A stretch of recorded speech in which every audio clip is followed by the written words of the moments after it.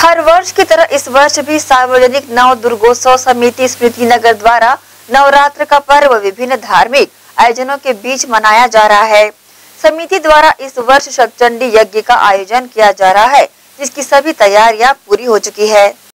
सर्व मंगल की कामना से हर वर्ष की तरह इस वर्ष भी सार्वजनिक नव दुर्गोत्सव समिति स्मृति नगर द्वारा नवरात्र का पर्व विभिन्न धार्मिक आयोजनों के बीच मनाया जा रहा है। वर्ष 2006 से नवरात्र का पर्व समिति द्वारा लगातार मनाया जाता रहा है। सबसे पहले नव दुर्गा की स्थापना आचार्यों द्वारा की गई। दुर्गा पंडाल परिसर में पंचमी से डांडिये का आयोजन रखा गया है। इस वर्ष सतचंडी यज्ञ का आयोजन भी किया जा रहा है, जिसके लिए यज्ञ स्थापना स्थल तैयार किया जा चुका है।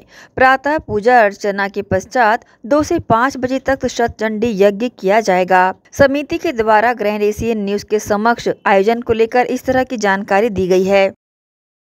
विशेष ये जो हमारी सार्वजनिक दुर्गोत्सव समिति स्मृति नगर है 2000 वर्ष 2006 में सबसे पहले हमने यहाँ पर नव दुर्गा की स्थापना की थी और पटरी के इस पार, इस क्षेत्र में पहला डांडिया जो है वो स्मृति नगर में प्रारंभ हुआ था 2006 में। आज ये सत्रहवा वर्ष है हमारा और बहुत ज़्यादा लोकप्रियता है, इसकी बहुत ज़्यादा प्रचलित है हमारे यहाँ का जो डांडिया है, पंचमी के दिन से डांडिया चालू होता है।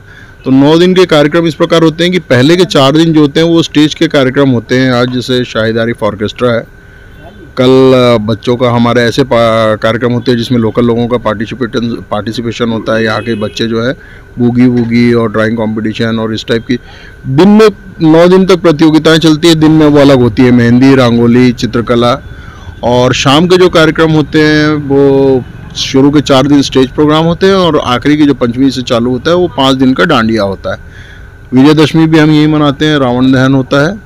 और इस वर्ष पहली बार सचंडी यज्ञ का आयोजन किया गया है तो आज से अभी जो यज्ञ स्थल आपने देखा यहाँ पर स्थापना की, की पूजा होगी अभी स्थापना पूजन के बाद। कल से प्रतिदिन नौ से एक बजे तक प्रातः जो है वो पूजन होगा। यज्ञ स्थल का और दो बजे से लेकर पाँच बजे तक हवन होगा सतचंडी यज्ञ है। माता से क्या कामना करते हैं? माता से हम कामना करते हैं स्मृति नगर की अच्छाई के लिए पूरे भिलाई शहर के लिए लोगों का स्वास्थ्य अच्छा रहे और उत्तरोत्तर प्रगति हो। तो सर्व मंगल की कामना से हम यहाँ पर माता जी की स्थापना करके और पूजा करते हैं। शहरवासी से अपील करना चाहेंगे। अपील यही है कि नवरात्रि की शुभकामनाएँ देना चाहूँगा और हर्षोल्लास के साथ श्रद्धा के साथ इस त्यौहार को मनाएँ। और अपनी जो संस्कृति है उसको कायम रखें।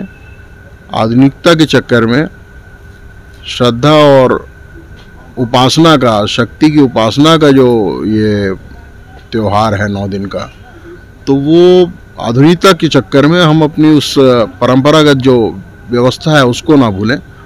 उसको किसी प्रकार के इग्नोर किए बिना, क्योंकि नौ दिन का जो उपवास ये जो नवरात्रि का त्यौहार होता है, ये परंपरा चालू हुई थी जब भगवान श्री राम ने रावण वध से पूर्व नौ दिन तक माता शक्ति की उपासना की थी और नौवे दिन दुर्गा माँ ने उन्हें आशीर्वाद दिया था, शक्ति दी थी, जिससे रावण का वध करने में सफल हुए थे। तो नौ दिन की उपासना शक्ति की है, पूरी श्रद्धा के साथ उपासना हो, उसके बाद आनंद हो, उत्सव हो, उसमें कोई गुरेज नहीं है उस बात से। लेकिन उस आनंद उत्सव में, आधुनिकता में हम अपनी जो प्राचीन संस्कृति है, उसको ना भूलें, ये इन मेरा निवेदन रहेगा। गौरतलब है कि पंडाल परिसर में प्रतिदिन विभिन्न कार्यक्रम आयोजित किए जाएँगे। महिलाओं और बच्चों के लिए भी पृथक पृथक प्रतियोगिताएँ आयोजित की जा रही है। समिति ने क्षेत्र के सभी भक्तजनों से इसका लाभ उठाने की अपील की है।